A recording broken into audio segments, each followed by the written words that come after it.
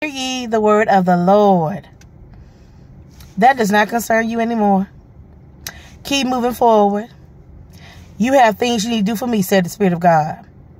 Things to obtain, things to accomplish, things to receive from me that you've been waiting on. So don't concern yourself about what other folks are doing. The wicked, the evil, the crooked, the corrupt. Leave them to me. Pray for them. But you stay focused. You stay encouraged. You keep going for the mark of the prize. Because I have things in store for you. Remember not the former things? The past is the past. Your future is bright. So I want you to enjoy the process of being restored in every area of your life. That you have lost, you have uh, been delayed, you have been set back, you've been sabotaged and hindered.